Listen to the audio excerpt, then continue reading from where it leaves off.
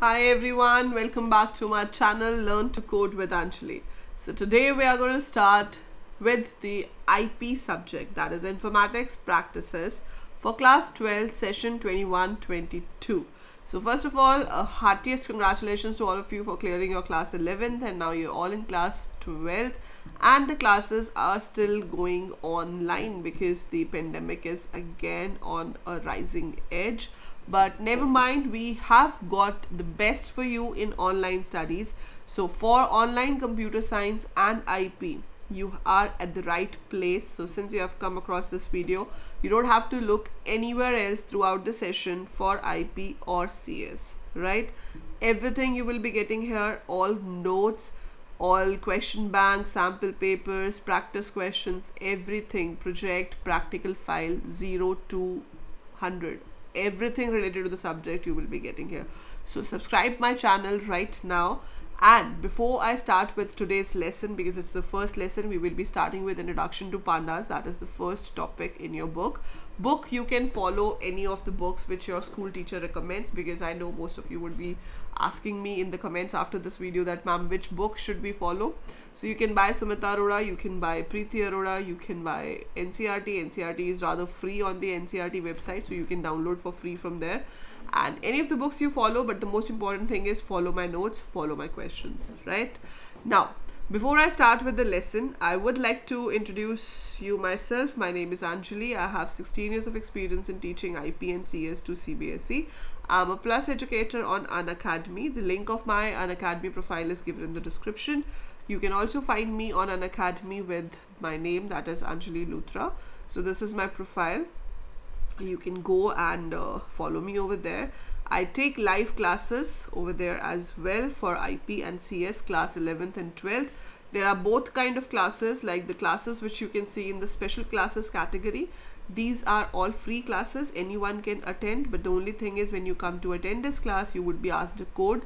So this is my name. You have to enter this to attend any of the free live class on Unacademy just write my name unlock the free resources and you can make maximum advantage of that. Right? So do join me in a live class over there. And i have also given a telegram channel link in the description so join that. Uh, there i keep sharing the links of all my upcoming classes or upcoming live classes on Unacademy as well as on youtube. Right? Another thing this is my youtube channel which is in hindi right? So learn to code with Anjali is in English because I was getting heavy demand from many of you that ma'am we need to study it in English because there is no channel providing IP and CS in English. And there are many of you in South India and the other parts of the country who have difficulty understanding Hindi. That's why I've started this course in English. But if any of you wants to go for Hindi version of this so I have all my Hindi videos on this channel. So huge content is available huge content is available for both IP, CS, BTech, BCA students for programming and that is in Hindi so you can subscribe my this channel as well. So let's come back to our main topic that is IP class 12. So as you know your first thing the first chapter is data handling 1. Now what do we mean by this? Now, many of the students ask me that, ma'am, what is the difference between IP and CS of class 12th? Now, when we talk about IP and CS of class 11th, it is almost the same. So, the Python which you study in class 11th is 90% uh, same in IP and CS, the type of programs you do and everything. But it is altogether different in class 12th. Although, in 12th IP and 12th CS, there are two topics that is DBMS and SQL and the second one is computer networks. So these are the things which are common. You have to do in IP also as well as you have to do in CS right? So we would be doing in both of these. But Python is totally different. In IP our focus is on managing the data that how you can store the data in the best possible way how you can perform operations on the data how can i fetch with different conditions with different kind of slicing indexing how can i modify? So all that thing which is related to data comes under this. Then representing your data in the form of graphs and charts so that we can make a better decision by analyzing the data. So this is more towards data analysis right so ip is more towards data analysis whereas cs python is more towards the basics of programming that how your basic of programming should be strong. How you use file handling how you use functions recursions data structures and all. So python language is different. So language is python but what you are studying what you are coding in 12th ip and cs would be different in terms of python but the other two topics would be similar right?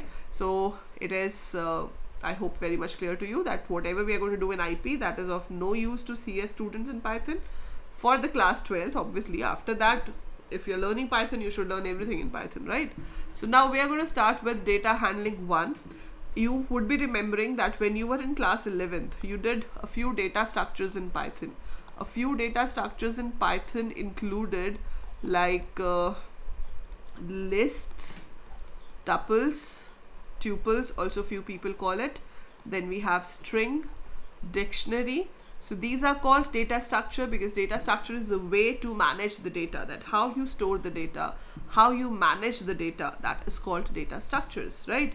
So these are the inbuilt or primitive data structures which are there in python. You don't have to do anything extra to use them. You don't have to import any extra file you don't have to do anything extra to use this. You can just write a is equal to 20 30 50 so this becomes a list.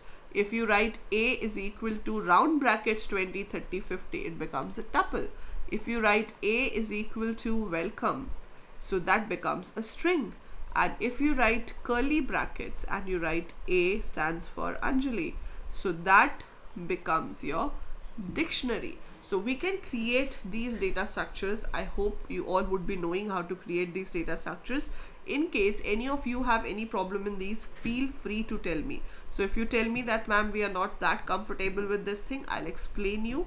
So it's not that if you have missed something in 11 you will be facing difficulty to cope up the, with the things in class 12 it won't be like that. So just let me know that ma'am i'm not able to get it I'll explain that in the next video, right? So from this, what you need to know before you start your 12th class syllabus is that list is mutable. So we must understand the meaning of the term mutable and immutable.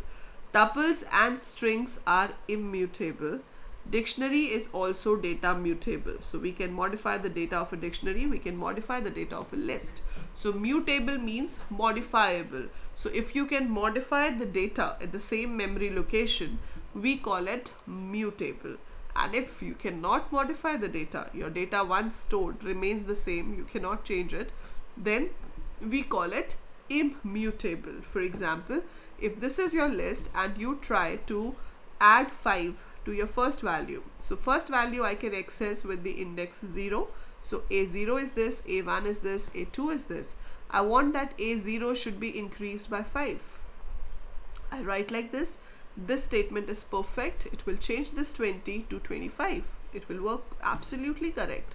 But if I try to do this thing with a tuple, so if I try to do it with this one, I will be getting an error. I will be getting an error and that would be that assignment is not possible with this data type. So you cannot assign in this data type because this data type is immutable. We cannot modify the value of this particular data type, right? So you must be very much clear about these terms mutable and immutable. Now, these data structures were already there, so you didn't have to import anything.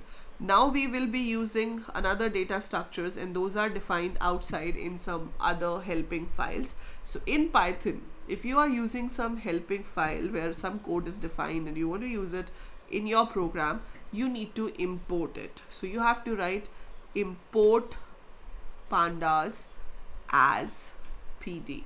So basically you have to import pandas. Now as PD is optional. So import is the keyword which says that we want to add an extra library to our program. Which library? The name is pandas. So you have to write it in small letters. If you want, you don't want to write the whole name again and again in the program. You want a smaller version of that. So we can use as PD. PD is anything, whatever name you want to give. But pandas is pandas. Okay. So as is a keyword and this is the alias name so like my name is Anjali and if at home nobody wants to call me like with the long name Anjali they just want to call me Anne so they will write like import Anjali as Anne okay? So or Angel or whatever. So we call it like this. So basically giving another name as you all have nicknames at home or your friends give you a nickname similar way we are giving a nickname to a library and we can use it with that nickname throughout the code right? Which is called alias. So alias or in simple words we call it a nickname. But it should be valid means you should not have any special symbol or space between your alias right? So import pandas as pd is done. Now in this pandas library in this pandas library i have three major data structures available. One is series. The second one is data frames the third one is panel okay? So we have series data frames panel. So these three are there. Now series data frames and panels what are they used for? We call that series is a one dimensional data structure. So in this the data is stored in a line just one line. You call it horizontal or vertical anyhow but it's stored in one line. That is one dimensional here the data is stored in the form of rows and columns in the tabular form. So since I'm storing the data in the form of a table in the form of rows and columns we call it two dimensional and panel can be three four five any dimension. So we call it multi-dimensional. But as a 12th class student you're not supposed to do this one. In your syllabus you have just these two that is series and data frames so in our syllabus we will be doing that. What is a series? What is a data frame? How will you create a series? How will you create a data frame? Then what operations we can perform on them? How can we store the data in them? How can we fetch the data from them? That all that everything we are going to study in this course right? So first we will be starting with series and then we will be moving on to data frames. But before you do any of these before you work with series or you work with data frames what you need to do is you have to install pandas. So pandas needs to be installed. For example this is my python IDLE if I try to write here import pandas as pd I make a program so this code is already written so I just add this line here and it has to be in small letters. So import pandas as pd right? Save this and you want to run this code so I write run. But I'm getting this error. It says no module named pandas. I don't have anything like pandas. There is no library called pandas. So in that case you have to go to the command prompt. Where will you go? You will go to the command prompt which looks like this. Right now I have opened MySQL on my command prompt but otherwise you will open your normal command prompt and on the command prompt you have to line write this line which is pip install pandas. So pip pip install pandas p small. So pip install pandas and then press enter. It will be installing pandas for you on your machine. After that you will be able to use pandas right? So if you are using python IDLE you need to install pandas before you use that. Similar way if you are using this pycharm. So if i'm using pycharm and i want to use pandas these all programs are using pandas already right but if you are making it for the first time you're going to click on pycharm click on preferences. If you don't get the preferences options there will be a setting option here. So click on preferences or settings and over here you will be getting project interpreter. As you can see in the installed packages pandas is already installed right? But if in yours it's not installed so you're going to click on this plus sign out here. So click on this plus sign and from here type in your library which you want to use so you want to use pandas so it will show pandas and then click on install package it will be installed that is how you can do in pycharm but if you say that I don't want to use it in Python IDLE I don't want to use PyCharm, you don't want to install anything on your machine, still you have an option. If you don't want to install anything on your machine, just open try.jupyter.org. So when you open try.jupyter.org, you get this. Click on the try classic notebook out of this. This is your first option out here. And after clicking on this, you will be getting a screen like this here. Wait for a while sometimes there is a lot of traffic on this site and it gets stuck like this but as it gets fine you just have to create a new python notebook right now it's too much of crowd over there that's why it's not opening nah. So we can open new notebook and we can start typing here. You don't have to install any pandas in this. And fourth option is if you're doing on your phone then there is an app called Pydroid, P-Y-D-R-O-I-D, Pydroid, which can be installed on an Android phone or Android tablet and then you can do your Python coding on that app as well, right? So any of these methods you can use for coding and once you are ready with all this installation and everything, we will be starting the actual coding. So we will be starting with the actual coding then. In this class, I just wanted to introduce you that we must have pandas and what all we have in pandas that we will be working with. So we will be working with series and data frames. After that, we will be working on one more library that is matplotlib. So matplotlib.pyplot is used for making various graphs. Like you have this line graph you have these bar graphs representing the data. So if you have to make these type of charts that all comes under the matplotlib so we will be doing that. And for all these you first need to install the library. So go ahead install that. In case you face any problem write in the comments below. And in the next video I will be starting with series. I will tell you how the series are created what are series how can we perform operation on series? Till then you just need to revise a bit of your list. So try to revise that what do we mean by indexing and slicing on lists so this is your homework. In every class you will be getting one small homework or worksheet. So today we haven't done much. We just had an introduction. So your work for today is you have to find out what is indexing or slicing in a list or to be specific if you have this list with you you have to tell me what will be printed if I print a 2 colon 5 and what will be printed if I print a 0 comma 5 comma 2 sorry not comma colon 2 so you have to tell me what will be the output of these two. And yeah that is it. So this will help you to revise your list and this will also help you to work with series ahead. So in the next class every Tuesday Thursday Saturday you will be getting a video for IP on this channel around 4 to 5 4 to 5 p.m. in between you will be getting the upload. And I'll see you on uh, Thursday now. Tomorrow we will be getting a video for computer science. I hope you liked it. If yes do click the like button share the video with all your classmates batchmates and subscribe the channel in case you haven't subscribed yet. I'll see you on thursday. Till then take care. Keep watching. Keep learning